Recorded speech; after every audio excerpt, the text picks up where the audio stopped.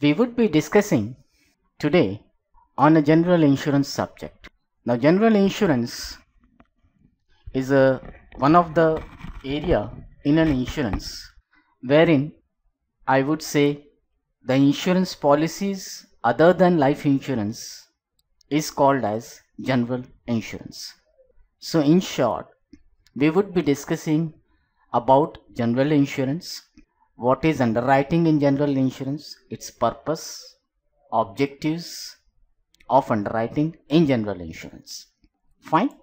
So, what is insurance? That is, in general, if we speak, which also includes life insurance and general insurance. So, in general, what exactly insurance means? Insurance is a socio-economic financial tool or a contract policy in which an individual or an entity or an organization receives financial protection or reimbursement against losses from an insurance company. Now in this particular product that is what we say a insurance product which is again a financial service which operates or which is sold by financial service companies that is financial service industries be a bank or be a insurance companies. So here the company pools that is an insurer company pools clients risk to make payments more affordable for the insured. By insured over here I mean to say the customer.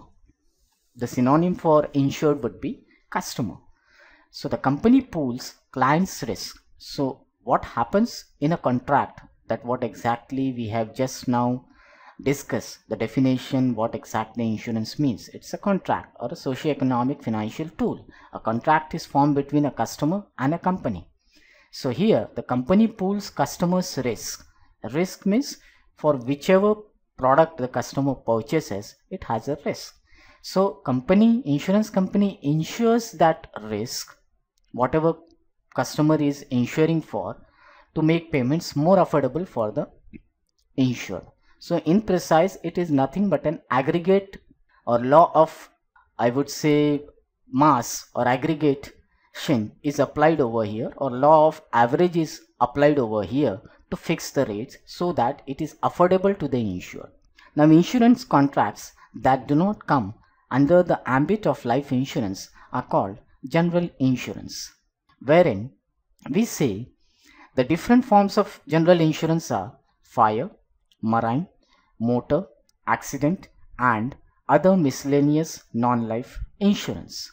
Thereby, we say the different forms of general insurance are fire, marine, motor, accident and other miscellaneous non-life insurance. Fine.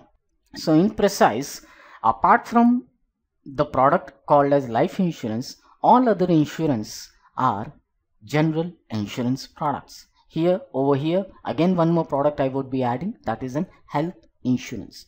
The tangible assets are susceptible to damages and a need to protect the economic value of the assets is needed for this purpose.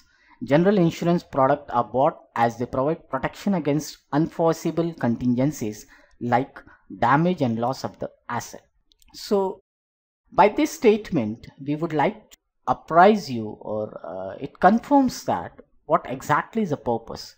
Whenever we purchase any tangible assets by tangible assets means the product that we can feel it we can touch it the physical product. For example if i say a vehicle a motor car or means i would say a flat a home house.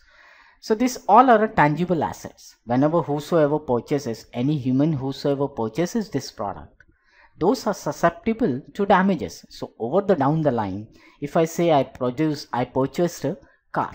So within from the date, I would say after five years from the date of my purchase, there are chances that my engine will undergo wear and tear and it depends all again on the factor how did I have maintained my vehicle. So had I maintained my vehicle routinely in a regular fashion say every six months one maintenance would be there then there will be less of a wear and tear. But again it depends. If the maintenance is not there the severity of damages would be more. So in this premise in these two situations if you see the economic value of a same car, if I regularly, routinely maintain the vehicle every six months, and if I maintain regularly, provide the vehicle for servicing after two years. So in this five years time, the vehicle has undergone in the first situation at least 10 times servicing.